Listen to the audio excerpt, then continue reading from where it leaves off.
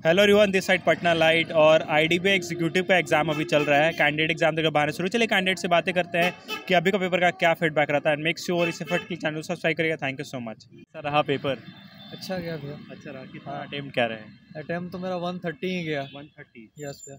Question कैसे लगे? Questions थोड़े से लेंदी थे। जैसे कि मतलब थ्योरेटिकल क्वेश्चन ज़्यादा ही था जिसको पढ़ के मतलब कॉम्प्रहेंशन टाइप क्वेश्चन था जिसको अच्छा। पढ़ के मतलब बहुत ज़्यादा समय उसमें बर्बाद हो रहा था। अच्छा लाइक रीजनिंग में ऐसे क्वेश्चन हाँ रीजनिंग में भी थे और मैथ्स में भी कुछ कुछ थे क्वेश्चन इंग्लिश में भी सेम टाइप के क्वेश्चन थे. हाँ। बाकी जीए वगैरह कैसा रहा? जीके भी ऑलमोस्ट ठीक ही था मतलब बैंकिंग सेक्टर से ज़्यादा क्वेश्चन पूछा हुआ था. हाँ भैया। क्या अच्छा। अटेम्प्ट क्या रहा total one thirty attempt sir. Accuracy नहीं एक्यूरेसी तो मतलब ऑलमोस्ट 100 के आसपास होगा। के आसपास। या any prediction for the cut off no prediction it's my first attempt कैविस की हो सिलेक्शन फ़र्स्ट अटेम्प्ट में आपको all the best thank you sir ठीक रहा मॉडरेट मॉडरेट हाँ मॉडरेट 200 क्वेश्चंस थे क्या अटेम्प्ट रहा? एक सौ दस. 110 हाँ. Okay questions much on expected lines या कुछ चेंजेस दिखा इस बार? नहीं मेरा तो पहला अटेम्प्ट था तो ज़्यादा आइडिया नहीं है अभी। ज़्यादा आइडिया नहीं अच्छा क्वांट रीजनिंग के क्वेश्चंस कैसे लगे आपको? रीजनिंग के टफ थे क्वेश्चन फॉन्ट के बहुत इजी थे। इंग्लिश के भी सही थे। इंग्लिश के भी सही हाँ। क्या डिस्ट्रीब्यूशन था क्वांट का? पॉइंट था कुछ चालीस। रीजनिंग साठ। क्वेश्चंस किस टॉपिक से थे लाइक क्वांट में? और वर्क डिस्टेंस यही सब बोट वगैरह का। हाँ बेसिक अर्थमेटिक ही था। डीआई मस्ट डेटा ओरिएंटेड या हाँ, डेटा हाँ, वो भी। बहुत ज़्यादा डेटा था उसमें। नहीं नहीं एवरेज जैसा आता है बैंक में वैसे ही। वैसा ही था। हाँ all the best thank you उतना अच्छा नहीं गया। नाइन्टी एट क्या कर कर रहा वो जी के बहुत जीए था ना उसमें बहुत डेटा ही बहुत ज़्यादा था। जीए या रीजनिंग जीए भी था और रीजनिंग भी वही हाल था उसमें बहुत हाँ। डर कैसा रहा पेपर? अच्छा नहीं रहा क्या क्या कारण क्या रहा? मतलब पीवीसी से कंपेरेटिवली थोड़ा टफ रहा या फिर जैसा सोचे थे वैसा क्वेश्चंस नहीं रहा? मतलब जितना एक्सपेक्ट किया था उससे थोड़ा कम बना। अच्छा। तो क्या कारण क्या था? क्वेश्चन का डिफिकल्टी लेवल थी ज़्यादा? करंट अफेयर्स बहुत ज़्यादा थे इस पर बैंकिंग सेक्टर बैंकिंग वाले। अच्छा। इस वजह से। जो जीए से जो क्वेश्चन थे सारा बैंकिंग सेक्टर से बहुत सारा पूरा भरा हुआ था। लगभग कितना क्वेश्चन मतलब अराउंड बैंकिंग सेक्टर से वही सिक्सटी थर्टी फाइव अराउंड थे थर्टी फाइव बैंकिंग सेक्टर से बिल्कुल। हाँ। ओके ऑल द बेस्ट क्या? अच्छा ओके क्या क्या फीडबैक रहेगा? कैसा रहा पेपर अच्छा ओके हो गया कैसा रहा पेपर ठीक है। कितने क्वेश्चंस हो पाए? हंड्रेड हंड्रेड हाँ। क्वेश्चन है वो कैसा लगा? मॉडरेट था। मॉडरेट लेवल का। हाँ। ओके प्रीवियस से कंपैरेटिवली इस बार का पेपर कैसा रहा? प्रीवियस से थोड़ा इजी था। इजी था इस बार? हाँ। ओके जीए का क्वेश्चन का क्या सीन रहा? करंट अफेयर थोड़ा ज़्यादा था। ज़्यादा था। हाँ। मतलब करंट अफेयर्स में क्या मतलब नॉर्मल जो करंट अफेयर्स होती है फिर economic oriented economic oriented economic oriented like IMF वगैरह का डेटा हाँ हाँ उसका। कैसा कैसा रहा पेपर एक्सपीरियंस पेपर वही बढ़िया था 137 अटेम्प्ट है टोटल 107 137 137 हाँ इसमें पहले मतलब रीजनिंग और डीआई आता है फिर आपका इंग्लिश आता है फिर आपका रीजनिंग आता है और फिर उसके बाद आपका वो जीए वगैरह आता है। तो जीए बस मतलब समझिए नवंबर दिसंबर का ही था और बाकी बैंकिंग और कंप्यूटर का था क्वेश्चन और रीजनिंग तो काफ़ी आसान था, उसका पजल बस दो पजल हमको मतलब ये थोड़ा डिफ़िकल्ट लगा डिफ़िकल्ट लगा। बाकी सब मतलब समझिए कि आरआरबी पीओ मेंस लेवल का था बाकी सारा। और ये आपका कंप्यूटर बहुत कंप्यूटर तो बहुत आसान था। कंप्यूटर से आपका बीस क्वेश्चन था। एकदम नॉर्मल बेसिक क्वेश्चन की मतलब शॉर्टकट की क्या होता है कॉपी पेस्ट का क्या होता है, ये सब टाइप का। और आपका इंग्लिश तो सबसे आसान समझिए इंग्लिश क्योंकि इंग्लिश में बस चार क्वेश्चन पाँच क्वेश्चन था जो लगा कि उसका वर्ड समझ में नहीं आ रहा। बाकी सारा तुम समझिए कि प्री लेवल का क्वेश्चन था बस और कुछ नहीं।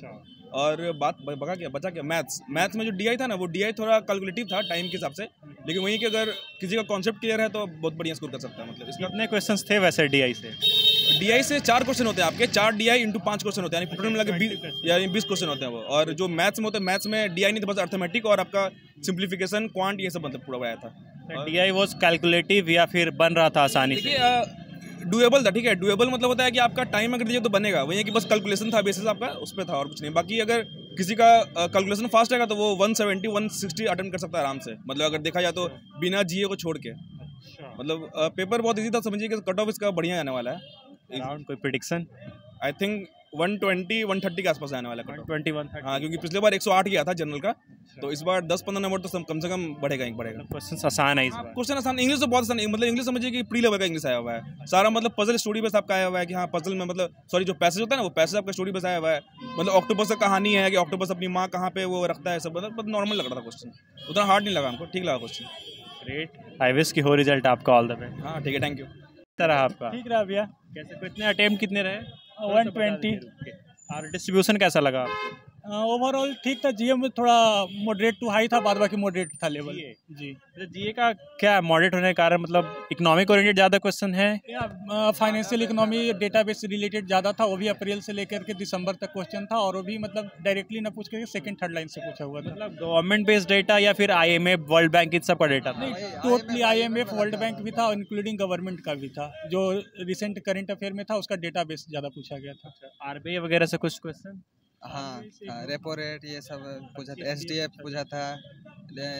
L F liquidity adjustment facility ये सब पूछा था। हाँ एन पी सी आई सभी क्वेश्चन था अब मेन दिक्कत होती है रीजनिंग में जैसे बैंकिंग एस्पेरेंट को बोला जाता है रीजनिंग कैसा था? नहीं रीजनिंग तो ठीक ठाक था।